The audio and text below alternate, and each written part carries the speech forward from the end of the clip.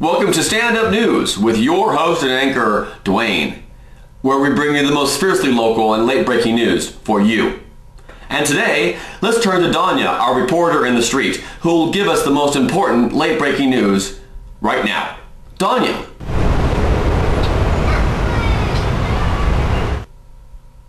Danya, what's the latest news? Mimi loves birds. Fascinating. We can't wait for that late breaking news report. And now back to you, Danya. Hi, I'm Danya here with the Stand Up News, reporting on a very important social issue.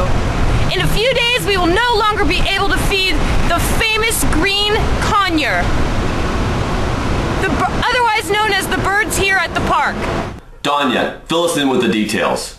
It, a law that will be enforced with major jail time. The Board of Supervisors don't want us to feed the birds anymore and they'll put us in jail if we do.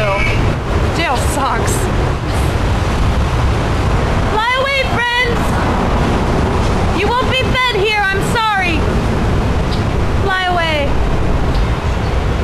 Sorry, Mimi. Back to you, Dwayne. We need a moment. Mr. Weather Now Man, tell us, what is the weather now? The weather now is hot. You heard it here first, folks. The weather is now hot. Back to you, Dwayne. Thank you all for tuning in to Stand Up News. That was a fascinating late breaking report. Talk to you later. Bye.